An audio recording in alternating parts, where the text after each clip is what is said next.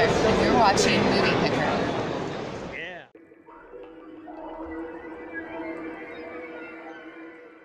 Hallo meine lieben Filmfans und fucking Freaks. Ja, äh, war das nicht ein geiles Intro?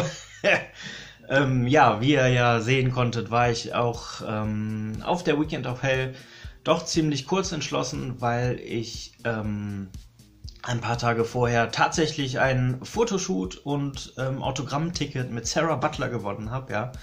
Ähm, ja, wie ihr ähm, ja hier se selber schon sehen könnt, natürlich nicht das erste, was ich von ihr habe. Ja, ich habe sie schon mal ähm, treffen dürfen, treffen dürfen. und ähm, ja, ich war erst hin und her gerissen, weil ähm, also ich mache generell fast an allen Gewinnspielen mit. Und ähm, ja, dass es dann tatsächlich Sarah Butler geworden ist, da hätte ich mir selber nicht ähm, zu träumen gewagt quasi. Und dann habe ich mir gedacht, ach komm, der DVD-Verkauf, der lief so gut. Ja, nochmal vielen Dank an alle, dass ihr mich da unterstützt habt und ähm, dass auch keiner irgendwie, äh, ja, nee, es hat gar keiner gehandelt, ja. Also jeder hat die Preise so angenommen, wie ich sie ähm, quasi vorgeschlagen oder vorgegeben habe. Das hat mich auch sehr, sehr gefreut. Das lief alles problemlos ab. Und nochmal an dieser Stelle vielen Dank an alle. Und ähm, ja, wie gesagt, und dann habe ich mich dann doch dazu entschlossen, hinzugehen und ähm, ja, eigentlich wollte ich es dabei belassen, aber dann habe ich ähm, halt doch noch ein paar Sachen gefunden, ja, wie es nun mal so ist. Und ähm, ja, das möchte ich euch jetzt gerne in Ruhe präsentieren. So, dann fangen wir doch einfach mal an. Ähm, ja, ich habe, hatte mir eigentlich was für Oberhausen vorbestellt, ja, bei dem ähm, Chef von Eight Films, ja, der äh, Steve. Und ähm, der hatte nämlich angekündigt, dass er die Darkman-Trilogie im Mediabook rausbringt. Und ähm, ja, da äh, sind meine Augen, äh, die waren richtig am Funkeln, ja. und ähm, ja, ich habe halt, äh, mir gefällt halt der erste Teil total gut. Und ähm, ja, da ich eine Trilogie im Mediabook äh, für sinnig halte, ähm, habe ich dann natürlich ihn angeschrieben und ähm, hat er gesagt, ja, ja, klar, ich äh, merke dich quasi vor, kommst du einfach zum Stand und dann ähm, übergebe ich dir das. Und naja, er war halt auch auf dem Weekend of Hell ähm, anwesend und da habe ich gesehen, dass er schon da ein paar Mediabooks ähm, rumliegen hat von dem Film und da habe ich gefragt, ob er zufällig meine Bestellung dabei hat. Dann hat er in ein paar Kartons gewühlt und ähm, nochmal nach meinem Namen gefragt und ja, konnte ich mitnehmen. Super geil. ja, also, wie gesagt, die Darkman-Trilogie hier im Mediabook. Ein ausführliches Unboxing folgt auf jeden Fall. Und ähm, ja, alle drei Teile, deswegen ist es halt auch schon ausgepackt. Ich habe das Unboxing schon abgedreht. ähm, alle drei Teile auf Blu-ray ähm, und der Pilotfilm zur geplanten Darkman-Serie ist hier auch noch mit drauf und es sind die Scheiben von Koch Media, ja? Also ein Repack. Nicht schlimm, wie ich finde. ähm, diese Edition ist hier limitiert auf 122 Stück. Ich habe hier die Nummer 130. Freue ich mich sehr drauf, ja? Preis von 35 Euro ist auch vollkommen okay. Ähm, wie gesagt, so gesehen sind es ja auch drei verschiedene Filme. Und ähm, ja, es gibt andere Mediabooks, die, wo nur ein Film drin ist und kostet äh, ja, doppelt so viel. Muss ich nicht haben. So. Anderes Thema. Ähm, genau. Dann war noch da Alpha Movies natürlich wieder, ja, die sich äh, komplett über eine über eine Ecke ähm, erstreckt haben, ja. Und ähm, ja, da hätte ich ehrlich gesagt ein bisschen mehr mitnehmen können, aber ähm, ja, das Duty Yield, ja, wo ist es hin? so schnell kann ich gar nicht arbeiten, wie viel Geld ich brauche. Ähm, auf jeden Fall ähm, hatten sie endlich mal, beziehungsweise habe ich allgemein endlich mal diese Edition gefunden, ähm, das Double Feature von Waxwork, ja. Ich hatte damals nur die ähm, DVDs von äh, Dragon oder Raptor, ja, die hatten ja teilweise echt ein schreckliches Bild. Und ähm, ja, hiervon gibt es halt auch ein Mediabook im Double Feature. Aber äh, nee, mir reicht das so. Ich, also ich finde es gut, dass sie das halt auch nochmal ähm, in einer normalen M-Array rausbringen. Äh, hier von Nameless. Und ähm, ja, wie gesagt, äh, Waxwork äh, Reise zurück in die Zukunft und Waxwork 2 Lost in Time. Ich glaube, den zweiten habe ich nicht mehr als so gut in Erinnerung, meine ich. Aber vielleicht ist ja die ähm, Meinung heutzutage irgendwie anders, wenn man sich den nochmal anguckt. Ja, wie gesagt, ähm, beide Teile hier in der Emery. Freue ich mich. Ähm, das hat, glaube ich, 9 Euro gekostet. Super Preis. Ähm, soweit ich weiß, kostet das eigentlich so um die 17,99 oder so. Naja, egal. Dann an einem anderen Stand ähm, habe ich mir ebenfalls eine Emery geholt. Und zwar von ähm, Splendid Films. Ähm, die Nummer 5 aus der Black Edition. Ähm, und da hat mich auch der Preis ein bisschen umgehauen, muss ich sagen. Ähm, und zwar rede ich hier von I Saw the Devil, ja, Rache ist ein tiefer Abgrund. Ähm, ah, wie heißt der denn nochmal? Mm. Ah, äh, Choi Ming Sik. Ja, Choi Ming Sik heißt hier der Hauptdarsteller, ja. Und ähm, Regisseur war hier Kim Jae-won, ja. Unter anderem hat er Bittersweet Life ähm, gedreht, wie ich gerade hier lese. Ähm, nee, was ich eigentlich sagen wollte, ich habe hier die Emery auch immer nur für 18 Euro aufwärts gesehen, ja. Und jetzt hier, wie ihr es hier selber sehen könnt, für 11. Und ähm, ja, da habe ich auf jeden Fall zugeschlagen. Ähm, ich weiß, hiervon kommt auch wieder von, ich glaube auch von Nameless, ähm, ein Mediabook.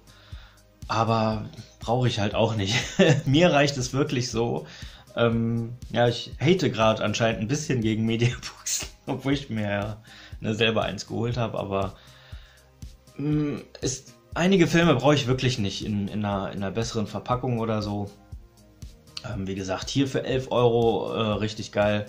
Und ähm, ja, geht hier wahnsinnige 142 Minuten, hat auf jeden Fall eine düstere Atmosphäre und einen richtigen What the fuck-Moment am Ende. Und ähm, ja, bin ich mal gespannt, den nochmal zu sehen. Ich habe den damals bei Veröffentlichung gesehen. 2011, so lange ist das schon her, ja. Und ähm, ich kann mich nur noch an eine Szene erinnern, wo er, glaube ich, irgendwie äh, in so einem Bus einsteigt oder so. Also der wird irgendwie quasi mitgenommen per Anhalter und dann haut der mit einem Hammer den, den Fahrer richtig zu Matsche irgendwie. Also das ist eine Szene, die ist auf jeden Fall hängen geblieben. Und ähm, ja, wie gesagt, da freue ich mich auf jeden Fall. So, und am selben Stand habe ich mir ebenfalls eine Blu-ray, Emery und, äh, und sogar im Schuber besorgen können, ja. Ähm, und zwar hier Human Centipede 2, diesmal in der, äh, wie nennt sich das? Äh, Full Sequence in Full Color. Ja, damit man endlich mal die ähm, ja, äh, Exkremente unterscheiden kann, quasi. die Körperflüssigkeiten. Also, wie gesagt, der ist hier nicht in äh, schwarz-weiß-braun, sondern in Farbe. Ähm, ja, die anderen beiden Teile habe ich halt auch in der Blu-ray äh, im Schuber. Und dann reiht er sich hier natürlich richtig schön ein. Und ähm, ja, ist ähm, auf jeden Fall einer meiner Lieblingsfilme. Ja, der ist richtig äh, kontrovers und provoziert bis zum geht nicht mehr. Und ähm, da bin ich echt mal gespannt, wie der hier in Farbe wirkt. Und ich meine, ich habe mir nicht umsonst hier die Scheiße tätowieren lassen, ja. Ähm, ich mag einfach The Human Centipede, das, ähm, ja, diese diese Idee dahinter finde ich einfach mega krank, ja. Und ähm, ja, gefällt mir richtig gut. Ähm, ja, von daher äh, 16 Euro fand ich auch in Ordnung. Und als ich diesen ähm, Film vom Stapel hochgehoben habe, darunter stand schon wieder 18 Euro, ja. Anscheinend werden die immer teurer, wenn da nur noch wenige rumliegen oder was. Keine Ahnung. Entschuldigung. Und ähm, ja, also ich hoffe, dass das ein richtiges Farberlebnis ist. Also ich habe ja so die Hoffnung, dass der in Farbe gedreht worden ist und der wurde einfach nur in Schwarz-Weiß quasi. Ja, da wurde ein Knöpfchen umgedrückt und dann ist er Schwarz-Weiß. Also nicht so.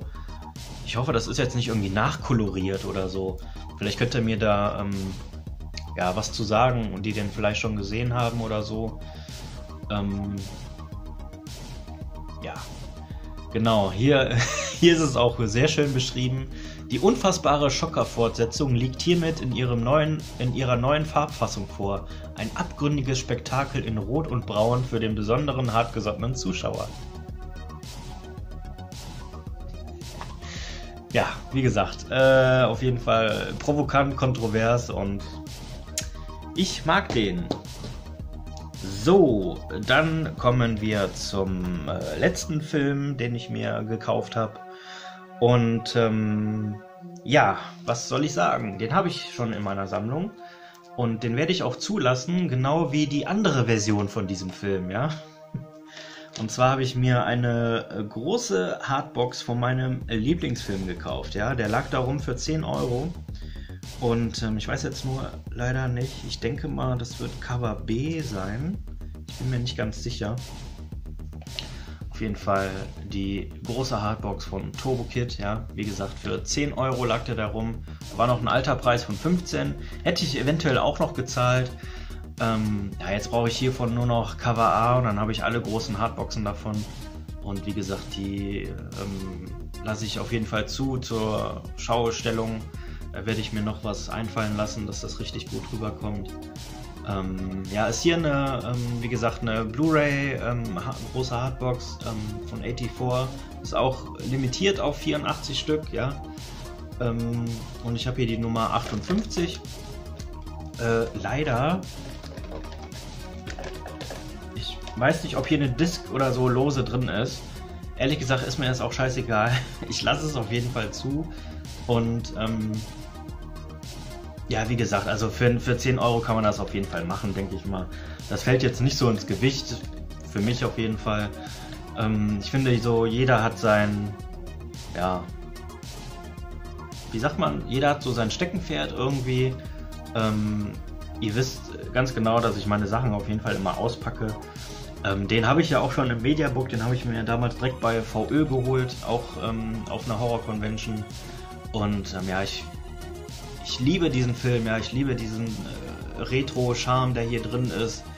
Und ja, ich, ich schwärme ja immer davon, ja, von daher ähm, mega geil, ja. Ich, allein, ich, allein diese, diese fette, fette Metallschrift, ja, ich liebe das einfach. Und ähm, ja, wie gesagt, mein Lieblingsfilm nochmal in der großen Hardbox. So, und wie gesagt, dann habe ich ja ähm, ein äh, Autogrammticket gewonnen. Ja, ich packe das jetzt für euch mal hier aus der Folie. Und ähm, ja, ich habe ja natürlich auch ein paar YouTuber getroffen. Es, es ist jetzt etwas, naja, weil ich es jetzt in der Hand hatte, etwas fingerabdrucklastig. Und ähm, da hatte ich auch kurz mit dem ähm, Vorhieß 82 mit dem Stefan kurz getroffen. Ähm, kurz getroffen. Also ich, natürlich habe ich ihn getroffen und kurz gesprochen, das wollte ich sagen. Und ähm, ja, da kam ich halt gerade von Sarah Butler wieder und ähm, da meinte er so, ja, zeig mal, was du da unterschrieben hast. Und er hat erstmal diesen hier gemacht und meinte, warum hast du das getan, ja? ähm, und zwar habe ich mir die, ähm, ja, quasi das gekürzte Metal Pack habe ich mir unterschreiben lassen, ja. Jetzt werdet ihr euch wahrscheinlich auch fragen, warum das? Ähm, ja, die Mediabooks besitze ich nicht von dem Film und ähm, ich habe alle drei Teile äh, umgekürzt im weißen, in diesem Schuber, in dem weißen Schuber. Und ähm, ja, hier ging es mir wirklich nur diesmal um die Verpackung, ja. Das Weiße wollte ich mir nicht irgendwie unterschreiben lassen. Ähm, ja, weil es halt irgendwie Standard ist, sag ich mal. Und ähm, ja, das hier habe ich damals, glaube ich, für 14,99 oder so bei uns im Mediamarkt rumliegen sehen. Ähm, und von daher habe ich es halt einfach mitgenommen, ja. Und das ist echt eine, ja, ein genauso geiles Cover, ja. Halt alles komplett in schwarz, mega hochglänzend, mega fingerabdrucklastig. Aber trotzdem hat sie hier wunderbar unterschrieben und ähm, ja, From Sarah with Love, ja. ähm, richtig geil. Ähm, wir haben uns auch ein bisschen am, äh, am Stand unterhalten, ja. Ich mit meinem ähm, perfekten, äh, ausreichend Englisch, ja. mit meinem Schulenglisch. Aber trotzdem, sie war wieder ähm, mega, mega nett. Und ja, ich bin froh, hier jetzt mal ein, ja, ein, einen Film von ihr unterschrieben zu haben. Ja, ich habe ja sonst, wie gesagt, nur ähm, zwei Bilder von ihr und ähm, ja, jetzt habe ich das hier. Freue ich mich auf jeden Fall. Und ja, das wird auch auf jeden Fall ausreichend äh, präsentiert werden. Und ja, jetzt kommen wir natürlich zu meinem äh, Highlight, ja, das Foto äh, von und, nee, von nicht, ja doch, von Sarah Butler, von und mit. Und ähm, ja, leider hatte sie da ein, äh, ja, ein, ein komisches blaues äh, Puschelding an. Ich meine, sie ist ja nur ein bisschen dürr und äh, anscheinend war ihr mega kalt und ähm, ah, ich hätte mir gerne äh, ein etwas anderes äh, Outfit gewünscht, aber wie gesagt, absolut nicht schlimm. Und ähm, ja, so sieht die Ausbeute aus. Kann man das spiegelt ein bisschen? Ach, ich kann ja ruhig gespiegelt werden, das ist ja egal. Geht ja hauptsächlich um, um sie. Und ähm, ja, was soll ich sagen? Ähm, ja, fasst sich unheimlich gut an, ja. ähm, also wirklich, ich war, ich war mega aufgeregt, als ich bei ihr auf dem ähm, Autogrammstand war. Aber sie ist einfach mega nett, ja. Die, also, äh, auch wenn es mal angenommen, es wäre vorgeheuchelt, auf jeden Fall hat sie auch Interesse bekundet irgendwie, ja. Aber ähm, ja, weiß ich nicht, sie hat sich halt nicht, ähm, ja, sie hat sich halt nicht irgendwie so als Abschaum stehen lassen. Wisst ihr so, wie ich das meine? Also, weiß ich, sie ist irgendwie, ich habe das ja auch bei den anderen gesehen, ich stand ja da in der Schlange, ähm, sie war immer freundlich, immer am Lächeln. Ähm, ja, und hat halt auch nachgefragt, so, dass das finde ich so als Mensch-Sache irgendwie schön, so, weißt du, da ist halt jemand so, ähm, ja, eine Schauspielerin aus, äh, aus Amerika und hat schon ein paar Filme gemacht irgendwie und so, ja, will wissen, was du so machst, ja. Auch wenn sie, wenn sie dich vielleicht äh, nach ein paar Tagen oder na natürlich vergisst, ja, trotzdem sie, ja, zeigt irgendwo Interesse und das finde ich halt irgendwie total geil, ja.